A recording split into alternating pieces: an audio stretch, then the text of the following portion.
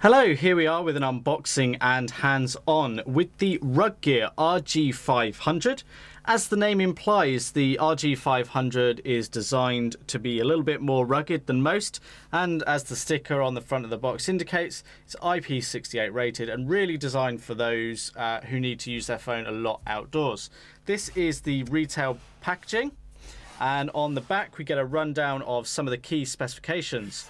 So, Android version 4.2.1, a 5 megapixel rear camera with a 0.3 megapixel front facing camera, Wi Fi, Bluetooth 4, dual SIM functionality, NFC.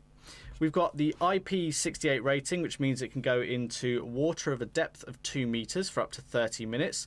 Mil-spec 810G, so it's uh, tested against drops up to a height of 2 meters onto concrete can operate in temperatures from minus 20 to 60 degrees Celsius. G sensor for compass, barometer, and altimeter. It's got a powerful LED torch and it's got a 3.2 inch touchscreen display with a resolution of 320 by 480. So that's the main elements there. Let's actually unbox it and show you what you get. So black and yellow in color. This is perhaps not the most desirable looking handset, uh, but it's not designed to take on the Samsung Galaxies or HTCs or Sonys of the world. This is for people who need something rugged and reliable in the field. So there's the device. We'll come back to uh, that in a moment, but you're probably thinking chunky, and that it is.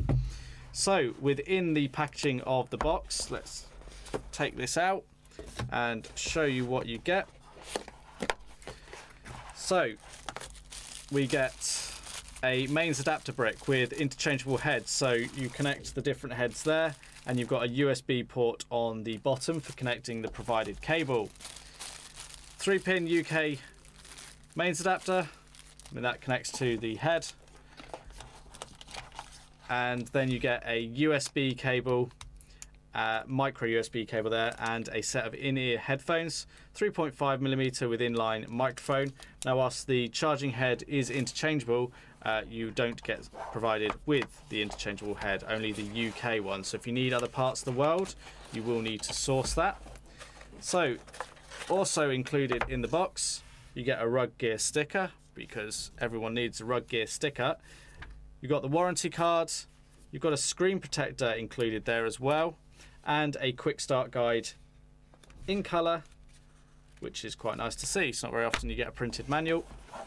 And then we've got the battery, a cleaning cloth, and a little key for the battery compartment. So cleaning cloth there, your little key, so one end for unscrewing the back cover, the other end you've got a little attachment that you can put on your keys, etc. And then you've got the battery, a 2060 milliamp hour battery, user removable as you can see. So let's show you the phone. Okay, so here is the handset itself. Now, before we give you a tour of it, let's run through some of the other specifications. So it's an Android handset running version 4.2.2 not likely to be upgraded to Lollipop or anything anytime soon because of the type of user that's going to be using this. 1.2 gigahertz dual core processor. There is a micro SD card slot in here. 4 gig of internal storage. The touchscreen is 3.2 inches with a resolution of 320 by 480 and it's rugged glass. You've got 3G connectivity on here, Bluetooth, Wi-Fi as well. It weighs in at 206 grams with the battery, so it's not uh, particularly light. And then, of course, we've got the 5 megapixel camera on the back here. So let's start with the back. We've got the battery compartment where we'll enter or put in the battery using the provided key. And we've got that 2060 milliamp hour battery. There's also an LED flash here. You can see we've got a little kind of recess there where you can attach a lanyard or something to this device.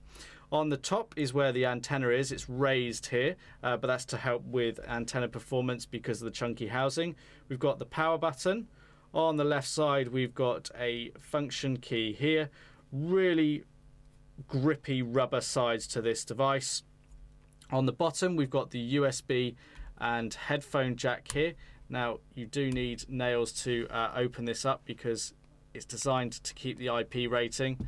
There we go headphone jack and micro USB connection for charging the device. And then on the right side, we've got another function button, the volume keys up and down, power button on the top there. On the front, the touchscreen display, physical buttons for home, menu and back, front facing camera, notification lights and earpiece. So let's pop the uh, battery in so you can see it powered on.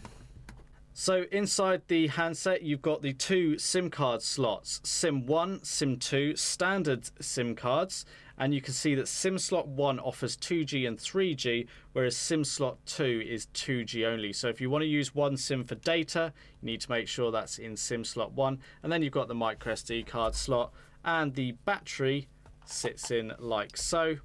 And if we don't put the cover back on correctly, we won't have the IP rating on this device. So battery goes in, you tighten it up with the little tool, and then we power it on. Okay, so with the device powered on, we have the uh, rather dated looking Android, but because of the commercial benefits and purposes of this device, um, it's what most people need. It needs to be functional rather than necessarily pretty. A lot of uh, companies have built specific apps to use on these devices. Um, you know, be it security personnel, sort of lone workers like medics, care assistants that can go out and use this device on the go. Now, it's not the most attractive handset as we've sort of uh, decided um, but it's functional it's really grippy you could drop this throw this and it's going to last we've got the ability to use the uh, camera flash as a torch. We've got a quick access button here to the camera and we've got a 5 megapixel camera on the back. So we can actually take uh, pictures with this device and use it like most people would a smartphone. Use the physical buttons here so whether your hands are wet or everything um, it will still run quite happily. The screen is a little bit resistive. We've got all the standard sort of settings here, the ability to schedule the power of the phone on and off, set the date and time add your various accounts. So you can add your Google, your corporate exchange, and much more to this handset.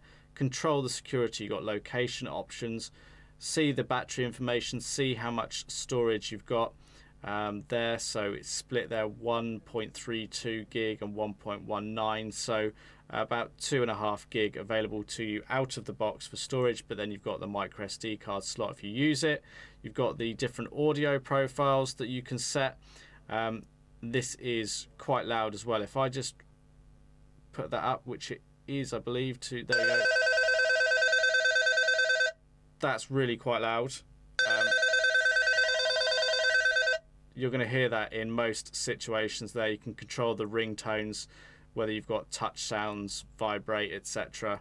So lots of different options. Uh, some of these features, such as the different audio profiles, kind of come up from more of the feature phone element that a lot of users um, in this field are used to. You can use the device in portrait or landscape mode. So see, we rotate it, comes back round there.